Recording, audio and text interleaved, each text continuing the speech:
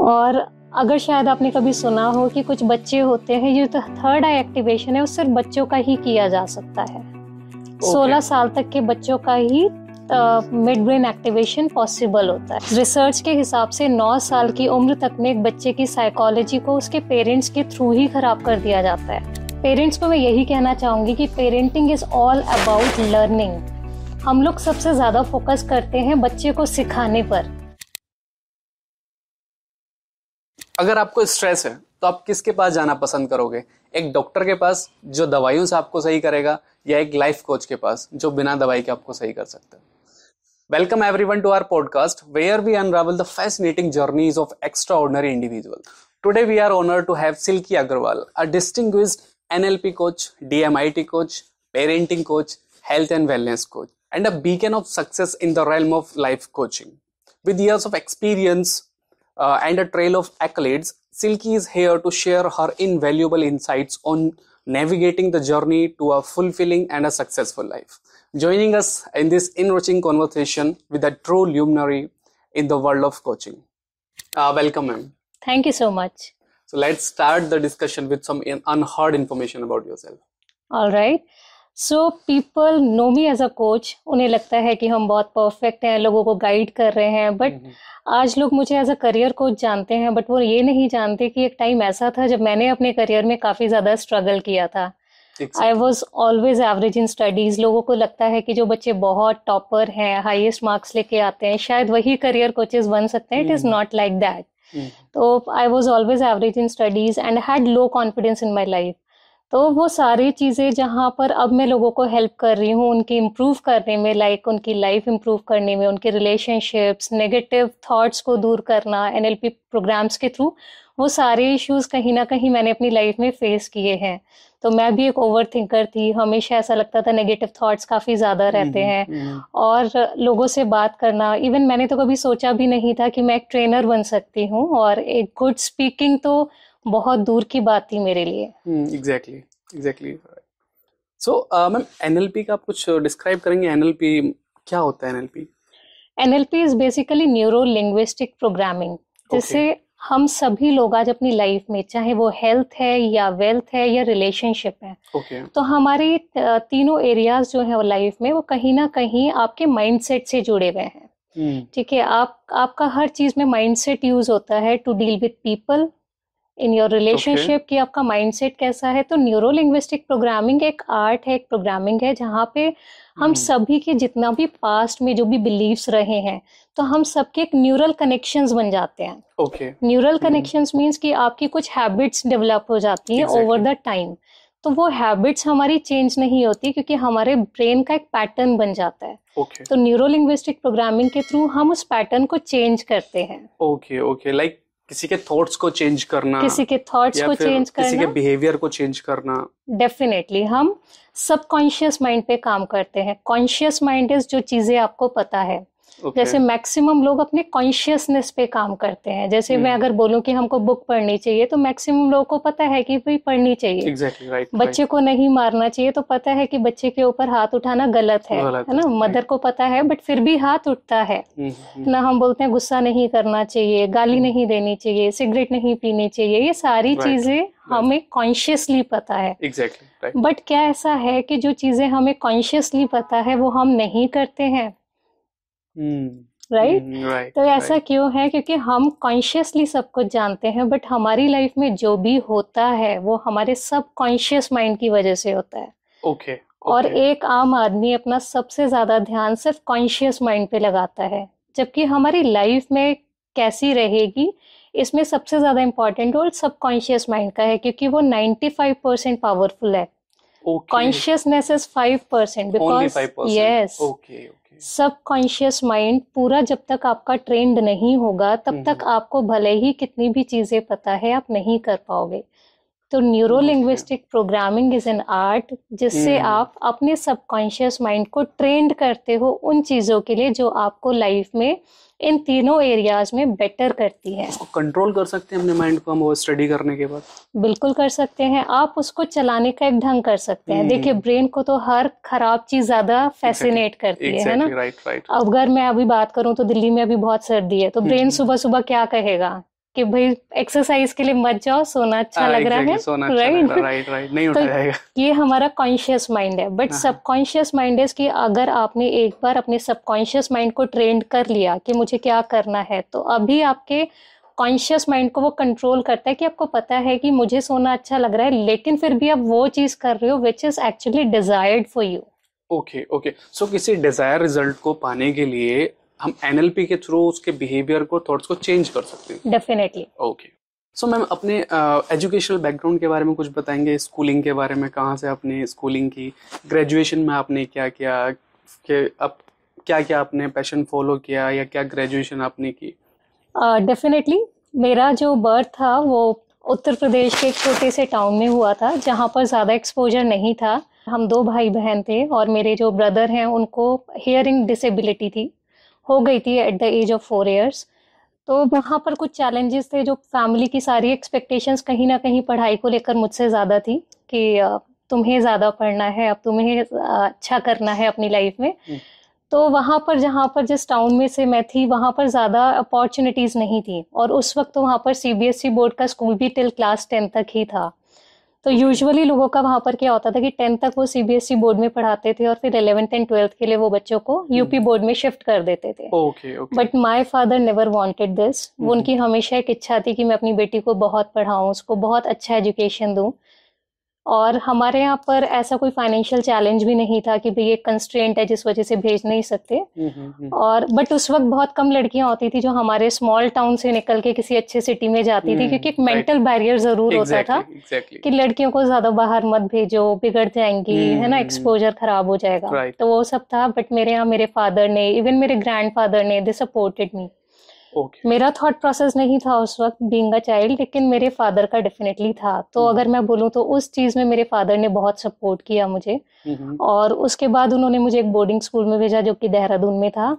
तो मेरा जो फ़र्स्ट जर्नी स्टार्ट हुई वो डेफिनेटली वहाँ से हुई। Boarding school yes okay boarding school से आपने कौन सी क्लास में मतलब बोर्डिंग स्कूल से मैंने इलेवेंथ एंड ट्वेल्थ किया था। और जब मैं वहाँ पर गई तो शुरू में थोड़ा एलियन जैसी फीलिंग आई। ओके तो कोई मिल गया वाला एलियन बिल्कुल वैसा नहीं जो हमारे अंदर होता है। ओके मतलब डर था किसी चीज़ का? वो डर नहीं क्योंकि एक स्मॉल टाउन से निकल के गई थी। हम लोग oh, स्कूल yeah, में बात right. करते थे नॉर्मली हिंदी में करते थे। हम hmm. लोगों का एक्सपोजर उतना नहीं था। Right. वहाँ पर क्या था जब देहरादून में गई तो सारे बच्चे जो थे वो इवन बाहर से भी आए हुए थे। इंटरनेशनल स्टूडेंट्स बहुत थे। hmm. तो एक फोबिया एक स्मॉल टाउन बच्चों में ना ज़्यादातर हो जाता है कि यार हम तो छोटी सी जगह से हैं और exactly. ये सब बच्चे जो हैं hmm. वो कोई दिल्ली से है कोई जो है थाईलैंड से है सब अलग अलग जगह से थे। वो कॉन्फिडेंस वो कॉन्फिडेंस था। तो जितनी इंग्लिश हम लोग बोल पाते थे ना अपने घर में उतनी भी बोलनी मैंने छोड़ दी थी क्योंकि एक डर हो गया था कि मैं जो बोलने वाली हूँ ठीक बोलने वाली हूँ या नहीं। है ना? तो वो कॉन्फिडेंस बोल सकते हो कि पर्सनैलिटी में थोड़ा स्टार्टिंग में कम हुआ तो लोगों से कम बात करने लगी। But hmm. जैसे धीरे धीरे एक्सपोजर हुआ दोस्त बने तो कंफर्टेबल हो गया। फिर मुझे समझ में आया कि नई लाइफ सब हम लोग बाहर से सब लोग अलग दिखते हैं बट हम्म, हम्म, हम्म। अंदर से सब लोग एक जैसे ही हैं। ओके तो वहाँ जाके जब मेरा एक्सपोजर हुआ तो काफ़ी चीज़ें मैंने नई सीखी। स्पोर्ट्स में काफ़ी नई चीज़ें करी जो मुझे लगता है कि स्टडीज़ uh, में बहुत ज़्यादा इम्प्रूवमेंट मेरी नहीं हुई थी बट डेफिनेटली एक्सपोजर में बहुत डिफरेंस हुआ था। तो जो एक्सपीरियंस मुझे जो एक बोर्डिंग स्कूल से मिला और specially in terms of discipline क्योंकि नॉर्मली हमारा घर में क्या होता है कि घर में बच्चों का आज भी मैं देखती हूँ कि कोई फ़िज़िकल डेली रूटीन नहीं होता है हम्म, कि हम्म। आपको एक्सरसाइज करनी है या आपको अपना कबर्ड सेटअप करना है आपको अपना बेड सेटअप करना है वो सारी चीज़ें जाके मैंने बोर्डिंग स्कूल में सीखी। तो हम्म, वहाँ से लाइफ में जो बोल बोला ना मैंने न्यूरॉन्स आपका एक प्रोग्राम हो जाते हैं तो वो न्यूरॉन्स प्रोग्राम मेरे वहाँ से हुए थे डिसिप्लिन के लिए कि I started liking a discipline life कि अच्छा लगता है।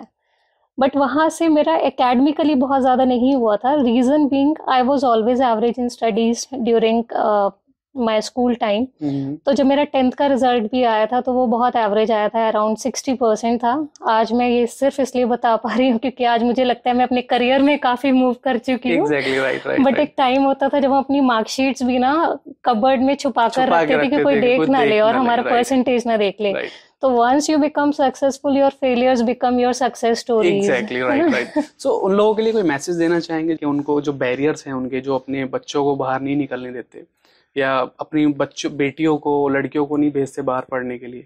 प्लीज़ उनके लिए कुछ बताएँगे। डेफिनेटली आज तो वैसे मैं देखती हूँ ट्रेंड काफ़ी चेंज हो गया है। जैसे जब हमारा टाइम था तब बहुत रेयर लड़कियाँ स्पेशली जाया करती थी बट आज मैं ही अपने टाउन में देखती हूँ। मैक्सिमम लड़कियाँ बाहर हैं। मे बी टेंथ के बाद नहीं है तो ग्रेजुएशन करने तो निकलती ही है। नहीं जिस साइड से मैं हूँ मैं अभी भी ऐसा बिलीव करता हूँ कि उस जगह अभी बहुत ज़्यादा दूर नहीं है। मैं मेरठ के आसपास की बात कर रहा हूँ। तो वहाँ अभी भी आ, उन मेंटेलिटी है लोगों की ऐसी कि नहीं भेजते वो लोग। इवन अपने बेटों को भी नहीं भेजते बेटी की तो बहुत बड़ी बात हो जाती है। सो so, उन लोगों के लिए कोई मैसेज डेफिनेटली देखिए मुझे लगता है डेफिनेटली भेजना चाहिए। क्योंकि जब तक आप अपने बच्चों को भेजोगे नहीं आपके घर से बोलते हैं ना कि one person can change your generation exactly right right तो आपने अपने एक, एक लड़की हो या लड़का हो उस चीज़ में मैं बहुत डिफ्रेंशिएट नहीं करूँगी बट आप अपने बच्चे को जब भी एक एक्सपोजर के लिए लर्निंग के लिए आगे भेजते हो तो वो आपकी आने वाली पीढ़ियाँ बदल देता है। तो अगर वो आपके स्मॉल टाउन में रह के उसको वो एक्सपोजर नहीं मिल पा रहा है वो वहाँ से बहुत ग्रो नहीं कर पा रहा है तो वो क्या करेगा? वो वही करेगा जो आप कर रहे हो? Exactly, और right, वही right, right, उसकी जो आगे आने वाली जनरेशन क्या होगी? फॉर सपोज़ एक लड़का है या लड़की है और उसको उतना ही आपने लिमिटेड एक्सपोजर दिया बहुत पढ़ाया लिखा है हम्म। नहीं तो उसके बाद क्या होगा? उसकी शादी भी एक ऐसे ही घर में और ऐसे ही एक हम्म, लड़के से होगी उसी की एजुकेशन की जितनी। तो आप देखो कि आपने आने वाली पीढ़ियों की जो ग्रोथ है ना वो भी आपने कहीं ना कहीं रोक दी है। तो आपको बहुत सारे लोगों को लगता है कि बिगड़ जाएँगे तो अगर बिगड़ने होंगे तो वो आपके पास रह के भी बिगड़ जाएँगे तो मेरा ऐसा मानना है कि वहाँ रह करके ज़्यादा बिगड़ते हैं रादर देन के अगर आप उनको एक अच्छे कॉलेज में स्कूल में भेज दोगे वहाँ से। देखिए जहाँ तक बिगड़ने ना बिगड़ने का सवाल है वो है कि आपके बच्चे को आपने बचपन में संस्कार कैसे दिए हैं? हम्म। और आपका बच्चा आपसे कितना कनेक्टेड है? अगर आपके बच्चे का कनेक्शन आपके साथ लूज है तो वो आपके साथ रहकर भी बिगड़ेगा और आपसे दूर रहकर भी बिगड़ेगा hmm, right. आज के टाइम पे भी आप देखोगे बहुत सारे लोग हैं ऐसा तो नहीं है कि जो बच्चे माँ बाप से दूर जाते हैं वही कुछ ना कुछ खराब करते हैं hmm. आज आप न्यूज़ में भी देखोगे न्यूज़पेपर्स में भी देखोगे बहुत सारी न्यूज़ ऐसी होती है इवन आज के टाइम पे मैं देखूँ तो काउंसलिंग सेशंस में भी जो मैक्सिमम प्रॉब्लम्स आती हैं वो तब आती हैं कि जब बच्चे साथ में रह रहे हैं कि भाई बहुत सारी कंप्लेन्स हैं तो ऐसा नहीं है कि वो आपके पास रह के खराब चीज़ें नहीं सीखते। You just need to have a good connection with your child अगर hmm, आप माँ बाप के बीच में और बच्चे के बीच में एक अच्छा स्ट्रॉन्ग कनेक्शन है तो वो कहीं नहीं जाने वाला उसको पता है। सो uh, मैम so, आपने जो स्कूलिंग की है वो जो आपके इलेवन ट्वेल्थ है एक बोर्डिंग स्कूल से आपने स्कूलिंग की है राइट right? सो so, आप कुछ डिफरेंशिएट क्रिएट कर पाएँगे कोई डिफरेंस बता पाएँगे जो नॉर्मल डे स्कॉलर्स होते हैं? या फिर बोर्डिंग स्कूल क्या डिफरेंस है कौन सा ज़्यादा बेस्ट है बच्चे के लिए क्या इफ़ेक्टिव हो सकता है बच्चे के लिए जहाँ तक बात है अगर आपके सिटी में अच्छा स्कूल है एक्सपोजर है हम्म। आपके घर का एनवायरनमेंट अच्छा है okay. है ना the main most important part कि अगर आपके हम्म। घर का एनवायरनमेंट अच्छा है तो डेफिनेटली आप अवॉइड कर सकते हो बोर्डिंग स्कूल भेजना okay. काफ़ी लोगों को ऐसा लगता है कि बस बच्चों को बोर्डिंग स्कूल भेज दो तो वो अपनी लाइफ में बहुत रॉक कर जाएँगे घर का माहौल अच्छा इन द सेंस के घर में पढ़े लिखे लोग होने चाहिए तो माहौल किस माहौल के आप प्लीज़ माहौल से मेरा मतलब है कि मदर और फादर का रिलेशनशिप कैसा है ओके okay. ठीक है क्या घर में लड़ाई झगड़े का माहौल है या फिर प्यार वाला माहौल है ओके okay. बच्चे से बात कैसे की जाती है एजुकेशन से कोई लेना एजुकेशन से कोई लेना देना नहीं है बट यस आपके घर का माहौल कैसा है क्योंकि अगर आज भी मैं देखूँ तो बहुत सारे बच्चे घर में रहकर भी नहीं पढ़ पाते हैं hmm, right. उसका रीजन यही होता है कि घर का जो एनवायरमेंट है जिस पर पेरेंट्स का कभी ध्यान ही नहीं जाता hmm. तो बच्चे को अगर आप एक स्ट्रेसफुल माहौल है आपका और आप एक अच्छे सिटी में भी रह रहे हो और आपको लग रहा है नहीं हमारे यहाँ पर अच्छा स्कूल है और बच्चा स्कूल जा रहा है तो मुझे लगता है तो उस केसेस में आपको बोर्डिंग स्कूल भेज देना चाहिए हम्म। क्योंकि एटलीस्ट बच्चा आपका एक ऐसे एनवायरमेंट में नर्चर हो रहा है जहाँ पे एक हैप्पीनेस है हम्म। तो मेरे हिसाब से बोर्डिंग स्कूल भेजना चाहिए या नहीं भेजना चाहिए ऐसा नहीं है कि boarding school are the best places to send your child it depends on the situation and it depends on your need okay okay, okay. जैसे मेरे केस में वहाँ पर ज़्यादा अच्छा स्कूल नहीं था एक्सपोजर नहीं था तो मेरे पेरेंट्स को भेजना पड़ा। But hmm. अगर आपके पास है तो आप अवॉइड कर सकते हो। अवॉइड कर सकते बट एक चीज़ मैं डेफिनेटली कहूँगी कि जो मुझे ऐसा लगता है बोर्डिंग स्कूल्स में बच्चे अच्छे से सीखते हैं वो hmm. है डिसिप्लिन लाइफ ओके राइट क्योंकि नॉर्मली पेरेंट्स ना वो डिसिप्लिन लाइफ घर में बच्चों के लिए क्रिएट ही नहीं कर पाते हैं। परफेक्ट hmm, परफेक्ट क्योंकि बोर्डिंग स्कूल में तो क्या होगा ना 24 घंटे वो स्कूल के अंदर ही रहेगा राइट तो वहाँ पे उन्हीं के अकॉर्डिंग हमें काम करना होगा। तो डिसिप्लिन वहाँ ज़्यादा बेहतर मिलेगा अदर देन घर पे राइट सो मैम स्कूलिंग के बाद ट्वेल्थ के बाद आपने ट्वेल्थ बोर्डिंग स्कूल से ट्वेल्थ करने के बाद आपने क्या सब्जेक्ट चूज़ किए? कैसे सिलेक्शन किया? किस सब्जेक्ट में आपने ग्रेजुएशन किया? जब मैं टेंथ तक मेरे पास सभी सब्जेक्ट्स थे बट हम्म, जैसे मैंने स्टार्टिंग में भी बताया था कि मैं स्टडीज़ में एवरेज थी और स्पेशली okay. मेरा मैथमेटिक्स बहुत वीक था। ओके तो इवन मैं स्ट्रगल कर रही थी कि बस किसी तरीके से पास हो जाऊँ जहाँ मेरे आसपास के बच्चे आ, हम्म। सोचते थे कि 90 आए 95 आए। मेरा क्राइटेरिया ये होता था कि 50 आ गए बहुत है। हम्म, और इवन मेरे पेरेंट्स का भी वही था कि 50 आ गए 60 आ गए तो मतलब मैथ्स में मैनेज हो गया। हम्म, अदर सब्जेक्ट्स में मैं काफ़ी अच्छी थी तो पेरेंट्स का जो सब्जेक्ट सिलेक्शन क्राइटेरिया था वो यही था कि भाई मैथ्स में वीक है तो मैथ्स तो नहीं दिलानी है।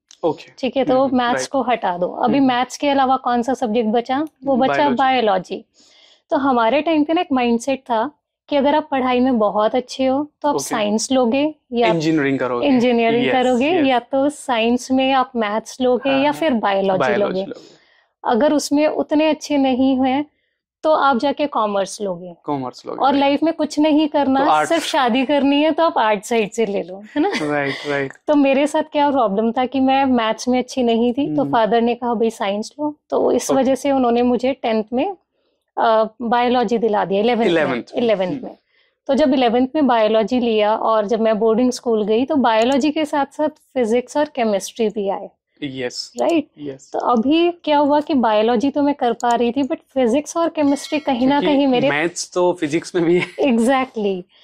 तो अभी ये समझने की ज़रूरत है कि जितना लॉजिक मैथ्स को करने के लिए चाहिए उतना ही लॉजिक फिजिक्स और केमिस्ट्री को करने के हम्म। लिए भी चाहिए।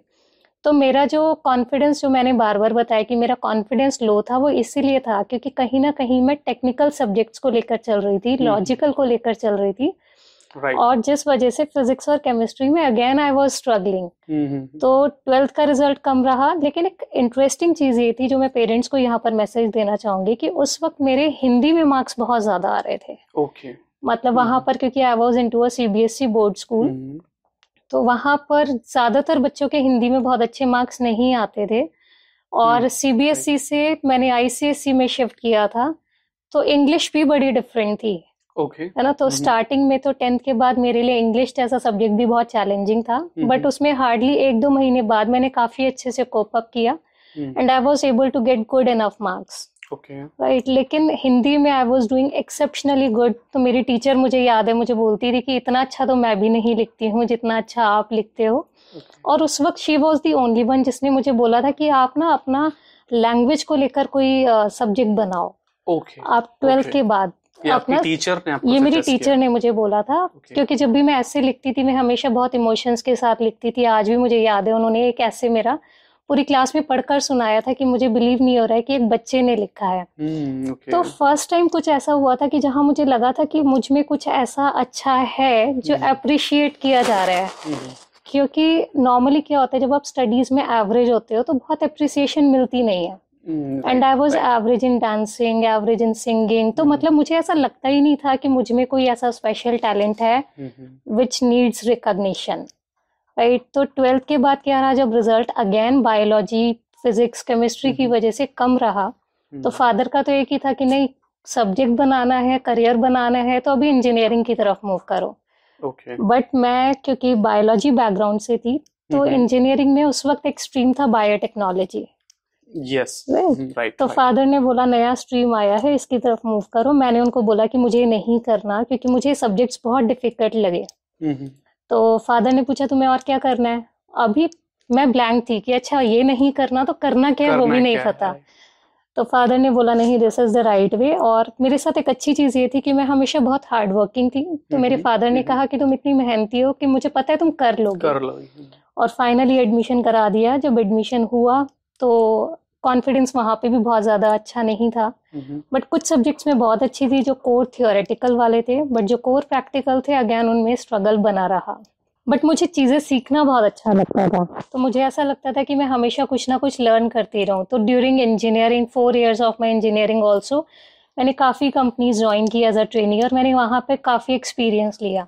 तो मुझे ऐसा लगता है कि जो किताबों में मैं पढ़ रही थी उसने मुझे शायद उतना लाइफ में कुछ नहीं दिया हम्म। बट जो मैं वहाँ जाकर सीख रही थी जो मैं देख रही थी एक्सपीरियंस कर रही थी उससे मैं बहुत कुछ सीख रही थी कि कैसे बाहर लोग जाते हैं हम्म। कैसे कॉन्फिडेंस मेरा वहाँ से बूस्टअप हो रहा था। तो जब मेरा बीटेक कंप्लीट हुआ तब मुझे लगा कि मुझे आगे कुछ करना है। नॉर्मली मेरी एज के मेरे क्लासमेट सभी लोग क्या कर रहे थे कि वो लोग जॉब सर्च कर रहे थे हम्म, बट मैंने कभी जॉब सर्च नहीं की। और सच्चाई तो ये है कि जॉब में इंटरव्यू फेस करने का कॉन्फिडेंस ही नहीं था क्योंकि लगता ही नहीं था कि इतना कुछ आता है कि मैं हम्म। इंटरव्यू क्रैक कर पाऊँगी। तो इसलिए मैंने कभी कोई इंटरव्यू नहीं दिया तो लगा कि आगे कुछ पढ़ लेती हूँ शायद थोड़ा बेटर हो जाऊँ। तो दो ऑप्शंस थे कि या तो एमटेक कर सकती हूँ बट बीटेक में भी बहुत मज़ा नहीं आया था तो हम्म। लगा कि एमटेक तो बस की नहीं है। तो उस वक्त एक ट्रेंड था एमबीए करने का। ओके है ना? एक हवा सी चलती है हम्म, करियर में भी कि हम्म। अभी ये वाला ट्रेंडिंग है हम्म। करियर तो उस वक्त मुझे भी लगा कि बीटेक के बाद चलो एमबीए ट्राई करते हैं। एमबीए मेरे लिए कितना था वो भी मुझे नहीं हम्म। तो पता था। डिफरेंट एकदम फ़ील्ड हो गई ना एकदम इंजीनियरिंग से आप निकल के फिर बिज़नेस एडमिनिस्ट्रेशन में जा रहे हो आप। तो वो फिर कैसे आपने खुद से या फिर फैमिली वालों ने आपको बोला कि एमबीए आप कर लो? नहीं फैमिली वाले तो एमबीए के लिए तैयार ही नहीं थे। ओके वो टेक्निकल के लिए बोल रहे थे एमटेक के लिए जाओ। वो तो बोल रहे थे अभी वापस आ जाओ घर पर। कि आप कुछ नहीं कर सकते। नहीं नहीं इस वजह से नहीं उनको लग रहा था बीटेक हो गया अभी तो हमने करा दिया है अभी और शादी वादी करेंगे और अभी Okay. सेटल हो लाइफ में क्या ना हम्म। इतने साल से अब बाहर रह रहे हो हम्म, तो अभी घर में आके चीज़ें सीखो आप बहुत मतलब पढ़ाई क्योंकि Okay, उनका भी पता है वो एक माइंडसेट था उनका जॉब को लेके कभी माइंडसेट नहीं था। उनका माइंडसेट था कि लड़की को एजुकेशन देना चाहिए हम्म, हम्म, और उसको अपने पैरों पे खड़े करने के लिए काबिल बनाना चाहिए कि इन Right. केस कभी लाइफ में उसको रिक्वायरमेंट है तो वो हम्म। इंडिपेंडेंट हो सके। हम्म, राइट राइट तो फादर ने भी बोला कि बीटेक के बाद वापस आओ बट मेरे कुछ फैमिली मेंबर्स थे जिन्होंने मुझे बहुत सपोर्ट किया और हम्म। उनके सपोर्ट से मैंने एमबीए में एडमिशन लिया। ओके ग्रेट और जब मैंने एमबीए में एडमिशन लिया ना मुझे लगा कि मेरे साथ मिराकल्स होने लगे हैं। एमबीए में जाने के बाद? एमबीए में जाने के बाद। और ये आई थिंक आप लोगों को ऑप्शन दे रहे हो कि भाई बीटेक के बाद एमबीए में आ जाओ नहीं बिल्कुल नहीं। मैं लोगों को ये ऑप्शन दे रही हूँ कि आप बीटेक के बाद जो आप एमबीए में जाते हैं मैक्सिमम स्टूडेंट्स वो जाते ही इस वजह से हैं क्योंकि उनको लगता है कि हम टेक्निकल फ़ील्ड में उतने अच्छे नहीं थे या उनको मज़ा नहीं आया। ओके हम्म, हम्म, इसीलिए वो स्विच करते हैं। बेसिकली मुझे भी उस वक्त ऐसा लग रहा था कि बीटेक और एमबीए का कुछ बहुत अच्छा कॉम्बिनेशन बनेगा। बट ये दोनों बिल्कुल अलग फ़ील्ड है। ओके अगर आपने हम्म, थ्री इडियट मूवी देखी yes, होगी यस है ना? तो yeah. वो बोलते हैं उसमें कि भाई इंजीनियरिंग करनी है तो इंजीनियर बनो ना। एग्जैक्टली एमबीए क्यों करना MBA है क्यों करना है राइट राइट एमबीए करने के बाद आप उस टेक्निकल फ़ील्ड को एकदम छोड़ देते हो। हम्म, वो यूज़ नहीं आता आपका ज़्यादा। तो मैंने एमबीए किया और मेरे साथ जो मिराकल ये हुआ कि मेरे ऑल ऑफ़ अ सडन मेरे मार्क्स काफ़ी ज़्यादा अच्छे आने लगे। ओके ठीक है? जो लाइफ में पहले कभी नहीं आए थे। ओके ओके ओके सो आपका कहने का क्या मतलब है कि आपको इंजीनियरिंग चूज़ ही नहीं करनी थी? ये आपको बहुत लेट समझ आया? बिल्कुल।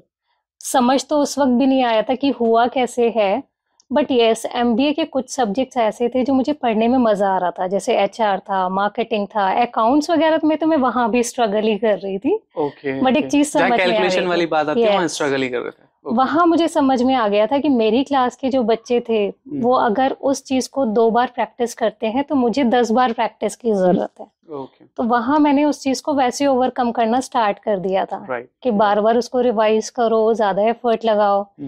बट एचआर में और मार्केटिंग में एफर्टलेसली मैं मार्क्स लेकर आ रही थी।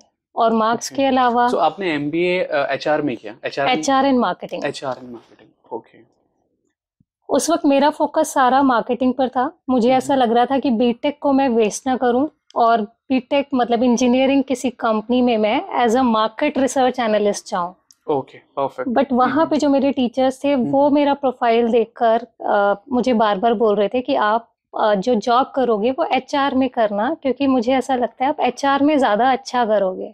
ओके राइट लेकिन मैंने उस वक्त उनकी सुनी नहीं। हम्म, तो आज मैं ये भी एक लेसन देना चाहूँगी कि आपको हमेशा जो अच्छा लग रहा है but you must always open yourself for for listening hmm, अगर आपको कोई एक्सपर्ट कुछ बता रहा है कि आप इसमें बेहतर कर सकते हो तो हमेशा अपने आप को ओपन रखो। हम्म, मतलब उनकी सुनो दस लोग जो राय दे रहे हैं उनकी सुनो।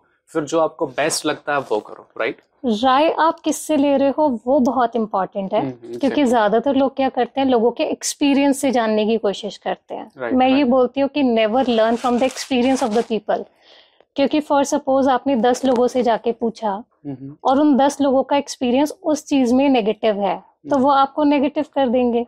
हम्म, बट अगर आप एक्सपर्ट के पास जाओगे तो उसको पता है कि अगर इसमें फेलियर होता है तो क्यों होता है और सक्सेस मिलेगी तो कैसे मिलेगी? तो जो एक्सपर्ट है वो आपको राइट एडवाइस देता है।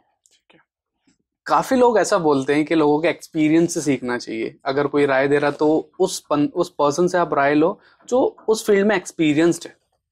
आ, लेकिन अभी आपने जैसे बोला कि नहीं एक्सपीरियंस के लोगों के एक्सपीरियंस से राय नहीं लेनी चाहिए। तो मतलब ऐसा क्यों? एक्सपीरियंस मैटर नहीं करता पर जिससे आप राय लेने जा रहे हो स्पेशली उस फ़ील्ड में उसका एक्सपीरियंस के बाद वो फेलियर रहा है या वो सक्सेसफुल रहा है ये इम्पोर्टेंट है। हम्म, फॉर सपोज़ आपको किसी भी फ़ील्ड में इन्वेस्ट करना है हम्म, और आपको लगा कि आपके रिलेटिव रिलेटिव है कोई जिन्हें उस फ़ील्ड का बहुत एक्सपीरियंस है। अब एक्सपीरियंस मैटर नहीं करता बट वो उस एक्सपीरियंस में एज अ सक्सेसफुल पर्सन है ओके ओके। या फिर वो नुकसान खाकर बैठ गए हैं मतलब कि फेलियर हाँ। है एग्जैक्टली उनको तो एक्सपीरियंस गलत ही होगा। Right Right. राइट तो अगर आप उनसे अगर वो फेलियर हैं और आप उनके पास जाएँगे तो वो आपको दस रीजन दे देंगे उस फ़ील्ड में एंटर ना करने के। ओके सो यू मीन कि जो सक्सेसफुल है इस फ़ील्ड के अंदर आप उन्हीं से राय उन्हीं से राय लें। राइट ठीक है। So after M B A अपने एच आर मार्केटिंग में आपने एम बी ए किया काफ़ी जॉब्स भी आपने की होंगी। देन इस प्रोफेशन के अंदर कैसे आपका आना हुआ? कैसे आपने लाइफ कोच बनने का सोचा? 2012 में I got married okay after M B A after MBA मैंने एक साल जॉब किया। अगेन वो मार्केटिंग कंपनी थी। हम्म, और उसके बाद मुझे एक साल बाद वो जॉब छोड़नी पड़ी बिकॉज़ मेरी मदर के साथ उस वक्त कुछ बहुत मेजर हेल्थ चैलेंजेस हो Okay, गए थे। okay.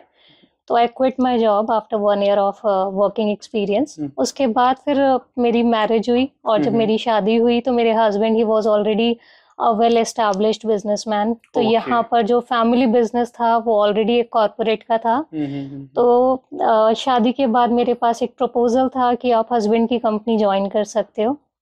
अरे वाह. तो मैंने एक महीने बाद एक से डेढ़ महीने बाद I join this company so salary मिलती थी या?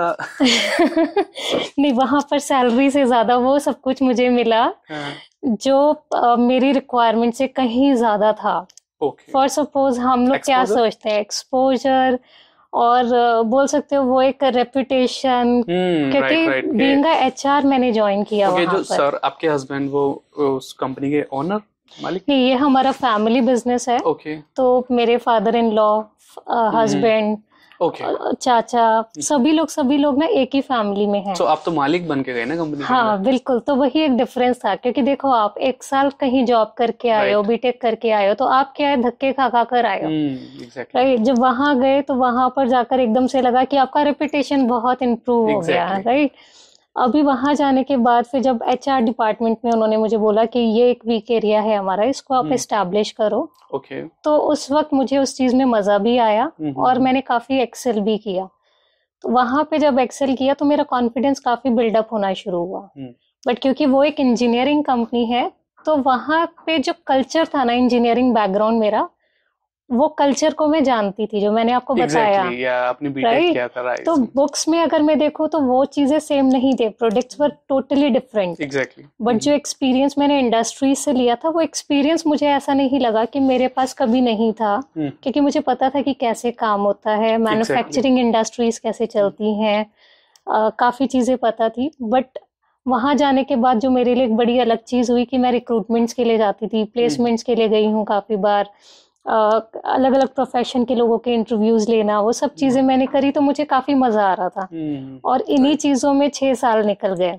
हम्म, बट जैसे अभी आपने मुझसे पूछा कि फिर मैं इस फ़ील्ड में कैसे आई तो जब छह साल बाद मेरा सेल्फ इमेज काफ़ी इम्प्रूव हुआ कॉन्फिडेंस काफ़ी इम्प्रूव हुआ तो एक दिन मुझे ऐसा लगा कि यहाँ पर मैं जो भी हूँ ना वो कहीं ना कहीं एक फैमिली सपोर्ट की वजह से हूँ आज जब मैं कहीं पर भी बताती Okay. हूँ कि मैं क्या हम्म, करती exactly. हूँ hmm. तो मुझे कहीं ना कहीं ऐसा लगता था कि लोगों को ये लगता है कि आज ये जिस पोजीशन पर है ना she is because of her husband okay कि अगर मैं कितना भी मेहनत करूँगी तब भी ऐसा लगेगा। प्रॉब्लम मुझे ये नहीं थी कि मुझे हस्बैंड का वो टैगलाइन नहीं चाहिए था।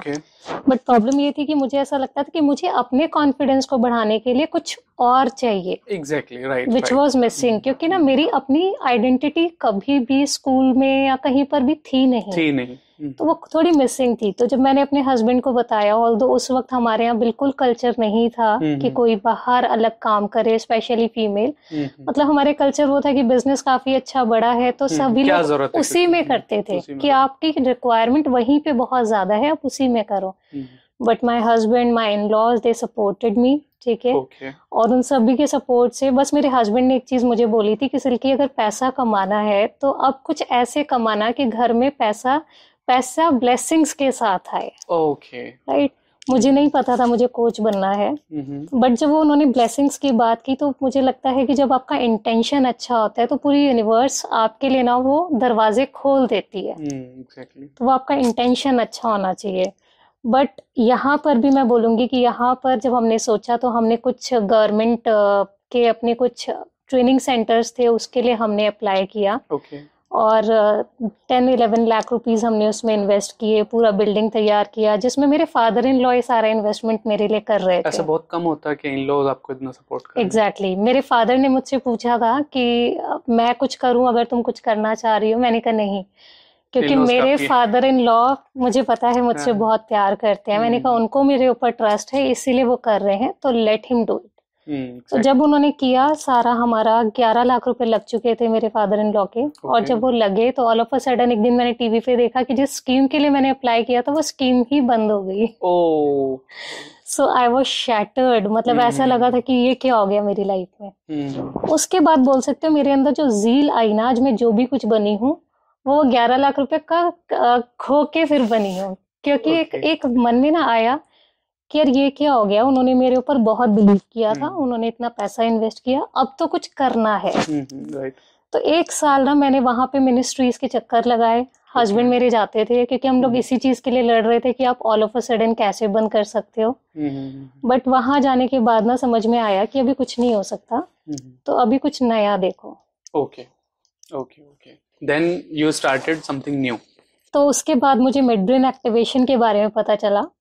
मिड ब्रेन एक्टिवेशन इज़ आपका थर्ड आई चक्र को एक्टिवेट करते थर्ड आई थर्ड आई भी ऐसा कुछ होता तीसरी आँख भी होती है बेसिकली आपको जो लगता है कि हम इन दो आँखों से देखते हैं। Exactly Right. कितनी बट वो आँखें जो होती है वो हमारे कैमरा की तरह काम करती राइट है। राइट जो सिर्फ़ एक मेमोरी क्रिएट करती है। आप आँखों से देखते हो बट जो। इमेज फॉर्म होती है जो आपने देखा वो मेमोरी कहीं ना कहीं आपके जाके ब्रेन में स्टोर होती है। यस यस आपने कभी फील किया होगा कि एक इंट्यूशन होती है गट फीलिंग होती है। होती है ना कि आज इंट्यूशन हो रही है कि मेरे साथ कुछ अच्छा होने वाला है। हाँ यस राइट यस तो ये इंट्यूशन जो है ना वो आपके थर्ड आई चक्रा से ही होती है। थर्ड आई यहाँ पे होती है। यस थर्ड आई यहाँ पर होती है जो आपके इंट्यूशन के लिए होती है। हम्म, और अगर शायद आपने कभी सुना हो कि कुछ बच्चे होते हैं ये तो थर्ड आई एक्टिवेशन है वो सिर्फ़ बच्चों का ही किया जा सकता है।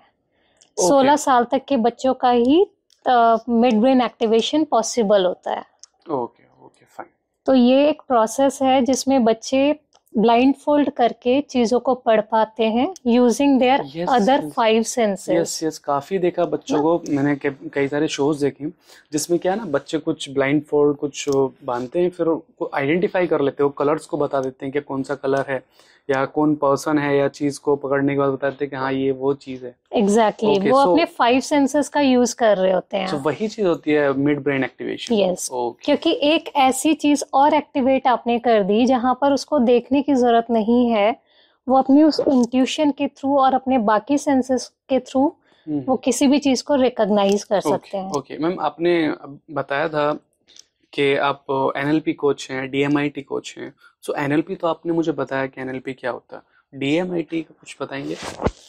जब मुझे मिड ब्रेन के बारे में पता चला तो मैंने अपने घर में किसी बच्चे को करते हुए देखा था अपने ब्रदर के बेटे को। हम्म, तो मैं बड़ी क्यूरियस हुई कि ये क्या है और कैसे पॉसिबल है। तो मैंने थोड़ा इंटरनेट पे सर्च किया तो मुझे पता चला मुझे लगा कि मुझे ये सीखना चाहिए राइट. बट जब मैंने इंटरनेट पे सर्च किया तो पता चला कि सर सोलह साल तक की ही उम्र तक आप इसको सीख सकते हैं। बट मुझे फिर उन्होंने बताया कि आप इसको सिखा सकते हैं आप इसके ट्रेनर बन सकते हैं। ओके राइट तो उस वक्त मैं अपनी लाइफ में कुछ ना कुछ ढूंढ रही थी मुझे करना था। तो आई थॉट कि why not to become a mid brain activation trainer तो आई अप्रोच अ कंपनी जहाँ से ये सारी ट्रेनिंग मैंने ली और उन्होंने मुझे डीएमआईटी के बारे में बताया। ओके। तो it was a very new thing for me क्योंकि मुझे पता ही नहीं था कि कोई ऐसी चीज़ होती है जो आपके इनबॉर्न टैलेंट जैसा कुछ होता है कि हर बच्चे के अंदर DMIT is exactly dermatoglyphics multiple intelligence test okay. जो पर्सन के फिंगरप्रिंट्स होते हैं वो बच्चे के जो है वो तेरह से बीस हफ़्ते के बीच में मदर के वोम में वो डेवलप होते हैं। कितने? थर्टीन टू ट्वेंटी तेरह. से बीस। Okay. Month months okay weeks not. Months जब वो मदर 20 वोम के अंदर है। ओके फाइन तो जब वो थर्टीन टू ट्वेंटी वीक्स वाला जो टाइम है उसी वक्त बच्चे के फिंगरप्रिंट्स डेवलप होते हैं और सेम टाइम पे बच्चे का ब्रेन डेवलप होता है। ओके आपने कहा हो सकता है कभी सुना हो कि ट्वेंटी वीक पे एक टेस्ट भी होता है मदर Yes, का जहाँ yes. पर एक। स्कैनिंग होती है और बहुत मेजर स्कैन होता है। जब डॉक्टर्स देखते हैं कि बच्चा ब्रेन से बिल्कुल ठीक है या, या नहीं, नहीं है यस यस तो ये एक रिसर्च है जहाँ पे साइंटिस्ट ने देखा कि जितने भी बच्चे मेंटली रिटार्डेड पैदा हो रहे थे उनका फिंगरप्रिंट भी क्लियर नहीं आता था।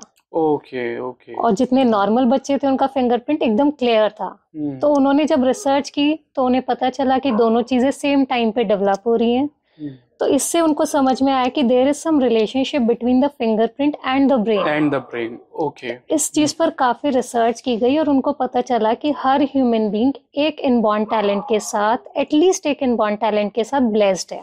ओके okay, यानी जो हम बोलते हैं घर के बच्चों को इसके अंदर तो कोई टैलेंट है ही नहीं या पेरेंट्स बोलते हैं कि तेरे अंदर तो कुछ है ही नहीं तो कुछ नहीं कर पाएगा। तो एग्जैक्टली हर बंदे के अंदर हर पर्सन के अंदर कुछ ना कुछ है छुपा हुआ है। बिल्कुल है। जो हम ढूंढ नहीं पाते उसको। बिल्कुल। ओके तो फिर आपने डीएमआईटी सीखा आपने डीएमआईटी पहले मैंने डीएमआईटी सीखा मैं उसकी ट्रेनर बनी क्योंकि मैं ऑलरेडी प्रोसेस में थी मिड ब्रेन एक्टिवेशन ट्रेनर की।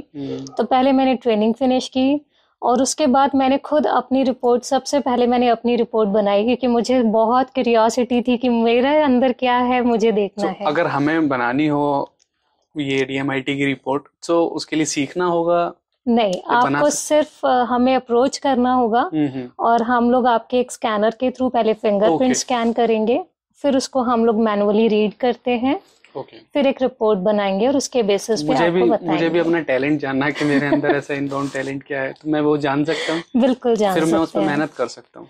बिल्कुल आपको बेसिकली कम मेहनत लगेगी। जैसे अगर मैं देखूँ जिस वक्त मैंने अपनी रिपोर्ट देखी थी तो ऑल ऑफ़ अ सडन मुझे लगा था ये रिपोर्ट तो गलत है। ओके क्योंकि मेरी सेल्फ इमेज क्या थी कि मैं तो बहुत एवरेज हूँ। और मेरी रिपोर्ट ये कह रही थी आपका ब्रेन पोटेंशियल एक्सीलेंट है। तो पहली चीज़ तो मुझे इसी से गलत तो लगी। ये तो बहुत फ़ायदेमंद होगी लोगों के लिए मेरे हिसाब से क्योंकि हम तो आज तक नहीं पता चल लगा हम लोगों को कितनी मेहनत कर रहे हैं हम अलग अलग फ़ील्ड में मेहनत कर रहे हैं कि भाई क्या करें। हमें तो पता ही नहीं हमारे अंदर टैलेंट क्या है। अगर किसी को पता चल जाए कि आपका ये टैलेंट है तो फिर वो उसी पे मेहनत करेगा, उसी में आगे जाएगा। बिल्कुल यही होना भी चाहिए हम्म, हम्म, हम्म। क्योंकि अभी हमारे यहाँ अभी भी करियर सेट करने का अभी भी एक ही क्राइटेरिया है कि हम लोग या तो आसपास के लोगों से पूछते हैं एग्जैक्टली exactly, कि क्या अभी मार्केट में ट्रेंड चल रहा है क्या करना चाहिए Yes. बीटेक करें एमबीए करें डेटा साइंटिस्ट बने क्या बने तो नॉर्मली लोग जो है वो आसपास के लोगों से रिसर्च करके या फिर देखते हैं कि इस फ़ील्ड में बहुत पैसा है तो चलो इसमें Exactly. भेजना चाहिए जैसे आप देखोगे ना एक चीज़ का ट्रेंड चलता है। एक टाइम पे सारे कॉलेज इंजीनियरिंग कॉलेजेस ज़्यादा ओपन हो रहे थे। हम्म, फिर एमबीए ज़्यादा ओपन हो रहे थे। अभी आप देख रहे हो डिजिटल मार्केटिंग के लिए ज़्यादा आ रहे हैं। तो मैं एक ही चीज़ यहाँ पे पेरेंट्स को कहूँगी कि कोई भी प्रोफेशन आपको कभी पैसे नहीं देता। हम्म, हम्म, कि इस प्रोफेशन में एंटर कर जाओ और इस प्रोफेशन से आप बहुत अर्न करोगे। हम्म, हम्म, रादर आप उस प्रोफेशन में कैसे हैं हम्म। वो चीज़ डिसाइड करेगी कि आपके लिए वो प्रोफेशन अच्छा है या नहीं है।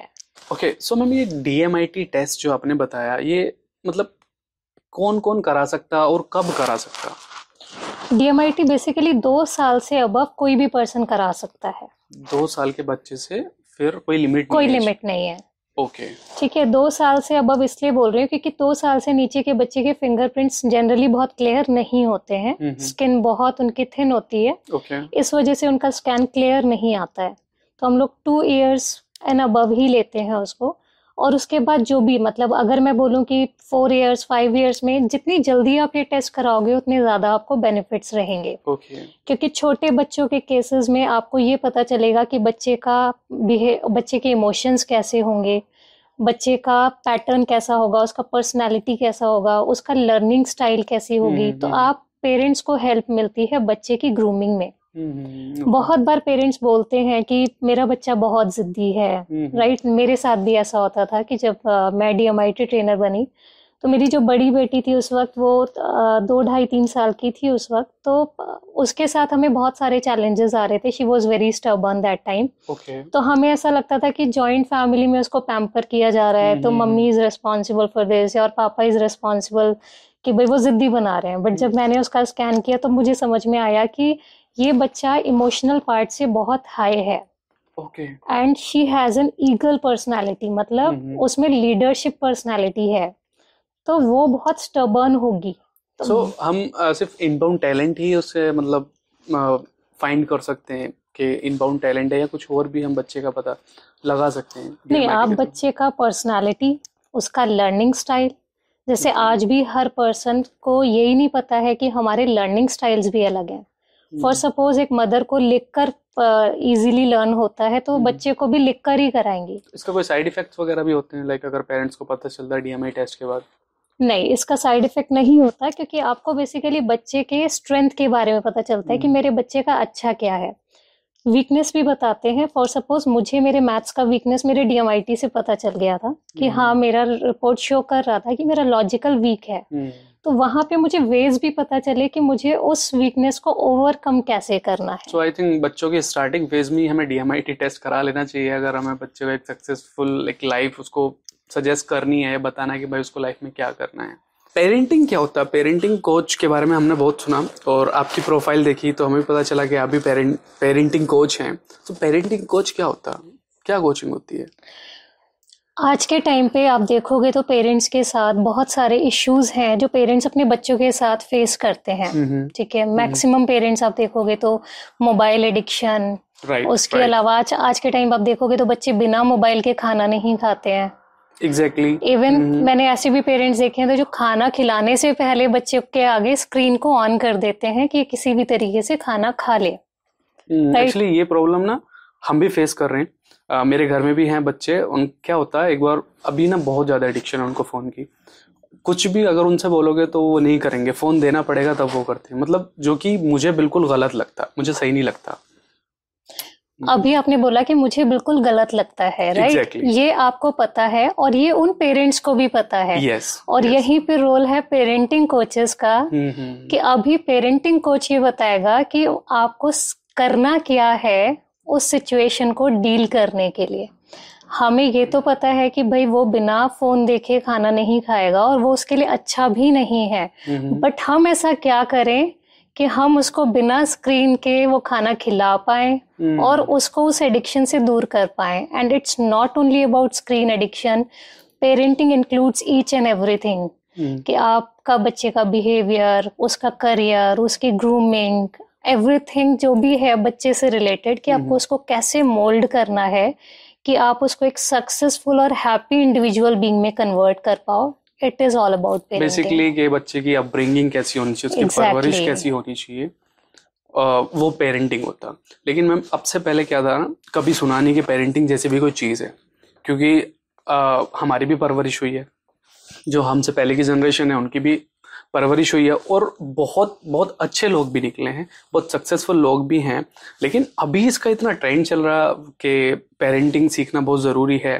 पेरेंट्स बनने से पहले शादी से पहले लोग स्टार्ट कर देते हैं पेरेंटिंग सीखना। तो मतलब ये किस हद तक ठीक है? ये ज़रूरी है या बहुत ज़रूरी है? ये बिल्कुल ज़रूरी है। अब आपको ऐसा लग रहा होगा कि मैं तो क्योंकि एक पेरेंटिंग कोच हूँ शायद Exactly, इसीलिए आपको बोल रही हूँ। राइट तो बेसिकली मेरी भी दो बेटियाँ हैं। मेरी जो एल्डर डॉटर है वो टेन इयर्स की है और छोटी डॉटर मेरी फाइव इयर्स की है। Okay. तो पेरेंटिंग कोच बनने से पहले क्या था कि मेरी जब बड़ी बेटी थी उसके साथ मुझे भी बहुत सारे इश्यूज़ होते थे। ऐसा नहीं कि आज नहीं होते आज भी होते हैं बच्चों के साथ इश्यूज़ रहते ही हैं। बट पेरेंटिंग करने से आपको वो इश्यूज़ को कैसे रिजॉल्व करना है कैसे हैंडल करना है उसके वेज आ जाते हैं। पहले हम लोग पेरेंटिंग कोचेज इसलिए नहीं देखते थे। आपका क्वेश्चन बहुत अच्छा था ये क्योंकि मैंने भी अपने घर में हमने कभी अपने टाइम पे देखा ही नहीं कि हमारे मदर या फादर कभी कोई काउंसलिंग्स ले रहे हैं राइट बट अगर आप देखोगे तो पहले के टाइम पे बहुत सारी वो चीज़ें नहीं थी जो आज के टाइम पे है। आप मुझे बताओ आपने मोबाइल फ़ोन कब देखा? एग्जैक्टली hmm, तब मैं थोड़ा मिच्योर होने लगा था तब मुझे बचपन में नहीं था। नहीं था क्योंकि वो था ही नहीं। Right right. है ना? पहले तो फ़ोन था ही नहीं जो था लैंडलाइन फ़ोन था। Landline hmm. फ़ोन में अट्रैक्शन क्या था? सिर्फ़ इतना कि भाई बेल बज रही है तो घर के सारे लोग भाग रहे हैं कि भाई मैं उठाऊँगा मैं उठाऊँगा। That was the only entertainment exactly right पहले टीवी में कितने चैनल आते थे? Hardly hmm. दो। D D one D D two बचपन में। उसके बाद जो चैनल्स आने शुरू हुए उनमें बच्चों के लिए क्या कंटेंट अवेलेबल था हमारे टाइम पे? बहुत लिमिटेड कार्टून शोज़ आते थे हम्म। जो मैक्सिमम वीकेंड्स पे आते थे। हम्म। ज़्यादातर लोगों के घर में तो केबल कनेक्शन भी नहीं होता था। Yes. राइट वो भी मुझे तो याद है कि हमारे टाइम पे छुट्टियों में लगाया जाता था और हम्म। उसमें भी बहुत लिमिटेड चीज़ें आती थी। हम लोगों का एक्सपोजर जो कोई भी इंफॉर्मेशन हमारे पास कहाँ से आती थी हम लोग अपनी एज ग्रुप के बच्चों के साथ खेलने कूदने जाते थे। उनको भी वही इंफॉर्मेशन होती थी उनके पास जो हमारे पास है। exactly. क्योंकि एक्सपोजर कहीं से उतना नहीं है बट आज के टाइम के ना बच्चे दे आर वेरी स्मार्ट क्योंकि exactly. वो पैदा ही हो रहे हैं टेक्निकल वर्ल्ड में। एग्जैक्टली राइट राइट आज उनको अगर कोई भी चीज़ क्यूरियोसिटी होती है ना तो उनके पास गूगल है। एग्जैक्टली राइट उनके पास एलेक्सा है इंटरनेट है। hmm. और अगर आपके पास बच्चे के पास इंफॉर्मेशन नहीं है तो हो सकता है साथ वाले बच्चे के पास हो क्योंकि वो अपने घर में टेक्नोलॉजी को यूज़ कर रहा है। एग्जैक्टली hmm, थर्डली हमारे टाइम पे मदर्स उतना एंगेज नहीं होती थी। मतलब किस चीज़? मदर या फादर में से। दोनों कभी वर्किंग नहीं होते थे बहुत रेयर okay, में होते मतलब, थे। मदर जो होती थी बेसिकली वो हाउस वाइफ हाउस वाइफ ही होती थी।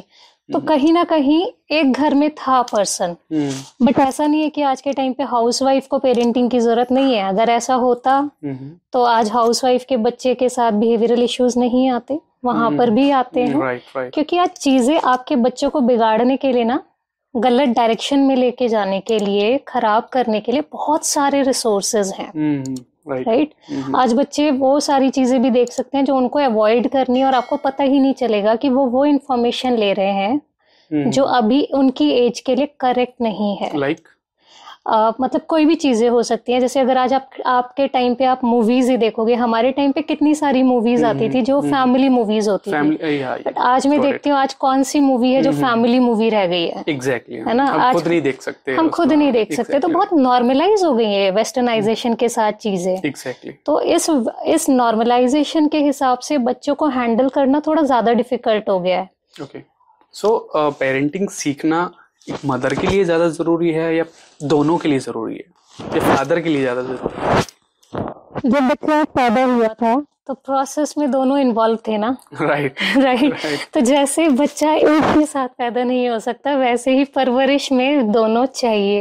ये आई थिंक बहुत अच्छी बात बोली है मैम ने कि इन्वॉल्वमेंट जब स्टार्टिंग से दोनों का था तो परवरिश से लेकर के हर चीज़ में बच्चे के साथ दोनों का इन्वॉल्वमेंट होना बहुत ज़रूरी है। तो दोनों को सीखना ज़रूरी है। सो मैम सिर्फ़ करियर को ही इम्प्रूव करने के लिए पेरेंटिंग करनी चाहिए या फिर what I think actually career is not only the area of concern क्योंकि बच्चे की 360 डेवलपमेंट पेरेंट्स के हाथ में होती है। लाइक like, उसकी मेंटल हेल्थ उसकी फ़िज़िकल हेल्थ और मोरल डेवलपमेंट सो इस पे आपका क्या रिसर्च के हिसाब से 9 साल की उम्र तक में एक बच्चे की साइकोलॉजी को उसके पेरेंट्स के थ्रू ही खराब कर दिया जाता है। है ना? Okay okay. हमें ऐसा लगता है कि हम बहुत सारे बाहर के फैक्टर्स पे हम बहुत ज़्यादा ध्यान देते हैं एज अ पेरेंट कि स्कूल हम्म। कैसा होना चाहिए प्री स्कूल कैसा होना चाहिए प्ले फिर आगे फॉर्मल स्कूल कैसा होना चाहिए इवन आप अपने बच्चे को अगर किसी क्लासेस में भी भेजते हो तो आप वहाँ के माहौल पे भी ध्यान देते हो बट हम्म। पेरेंटिंग में मैं सबसे ज़्यादा बोलती हूँ कि the most important part is कि आपका घर का एनवायरनमेंट कैसा है तो पेरेंटिंग सिर्फ़ करियर नहीं है करियर तो बाद में अगर आपकी पेरेंटिंग ठीक है तो करियर तो सक्सेसफुल हो ही जाएगा। बट पेरेंटिंग में सबसे पहले हम चीज़ जो बोलते हैं that is emotional development emotional development कैसे होगा? जब इनिशियल फाइव इयर्स में पेरेंट्स का बच्चों के साथ एक बॉन्ड होगा, एक रेपो बिल्डअप होगा। आज के टाइम पे मैक्सिमम पेरेंट्स वहीं पर लैक करते हैं, क्योंकि उनके बच्चे का रेपो बिल्डिंग नहीं हुआ हुआ है। उनके बच्चों का कनेक्शन उनके साथ नहीं है। बल्कि उनके थ्रू दी गई चीज़ों के साथ exactly, है right. क्योंकि आज के टाइम पे पेरेंट्स एक ऐसा चीज़ है कि सिर्फ़ टाइम वो नहीं दे पाते बाकी सब कुछ वो दे देंगे। तो इनिशियल फाइव इयर्स पे हमें सबसे ज़्यादा फोकस करना चाहिए बच्चे के इमोशनल डेवलपमेंट पे कि वो अच्छा आपके साथ कितना ज़्यादा बॉन्डेड है कितना वो अपना एनवायरनमेंट उसको अच्छा मिल रहा है। फिर पाँच साल के बाद आता है कि आप बच्चे का डेवलपमेंट कैसे कर रहे हो उसको रिस्पॉन्सिबिलिटीज ज़्यादा दे रहे हो या फिर आप उसको फैसिलिटीज़ ज़्यादा दे रहे हैं। फिर आपका आता है कि आप उसको रिस्पॉन्सिबिलिटीज जितना ज़्यादा दोगे एक स्ट्रिक्ट इन्वायरमेंट में नहीं हैप्पी इन्वायरमेंट में क्योंकि अगर आपका इमोशनल डेवलपमेंट अच्छा है तो वो रिस्पॉन्सिबिलिटीज को लेने के लिए तैयार hmm, रहेगा। राइट राइट देन आपने इन दो चीज़ों पे फोकस किया तो करियर अपने आप ही अच्छा डेवलप हो ही जाएगा। पेरेंट्स को मैं यही कहना चाहूँगी कि parenting is all about learning हम लोग सबसे ज़्यादा फोकस करते हैं बच्चे को सिखाने पर। है ना कि बच्चे को गुस्सा कैसे कम करे, ये कैसे सिखाए, बच्चा खुद से खाना कैसे खाए, ये कैसे सिखाए, मोबाइल एडिक्शन ना हो, ये कैसे सिखाए। But parenting is all about learning अगर आप खुद चीज़ें सीखेंगे मैक्सिमम पेरेंट्स पेरेंट्स बनने से पहले ही अपनी लर्निंग को कम्प्लीटली स्टॉप कर देते हैं। अगर आप देखेंगे तो मैक्सिमम वाइफ पूछती हैं मदर्स कि भाई हमें बच्चे का गुस्सा कैसे कम करना है? बट मेरा उन मदर्स के साथ एक ही क्वेश्चन होता है कि आप ये बताइए कि आपको कितना गुस्सा आता है? तो मैक्सिमम पेरेंट्स खुद बच्चे के ऊपर गुस्सा करते हैं और वो चाहते हैं कि बच्चे का गुस्सा कम हो जाए। तो बच्चे का गुस्सा कम करने से पहले हमें अपना गुस्सा कम करना सीखना है। तो जितना ज़्यादा आप लर्न करेंगे, उतना ज़्यादा आपके बच्चे आपको देखकर सीखेंगे। क्योंकि बच्चे वो कभी नहीं कहें, करेंगे जो आप उनसे करने के लिए कहेंगे। इनफैक्ट आपके बच्चे वो करेंगे जो आपको वो करते हुए देखेंगे। इसलिए आपको सिर्फ़ सीखना है आपके बच्चे आपको देखकर सीख जाएँगे। सो so, मैम अगर स्कोप की हम बात करें तो so, इस फ़ील्ड का लाइफ कोच का क्या स्कोप है? जब तक लाइफ है तब तक लाइफ कोचेस हैं।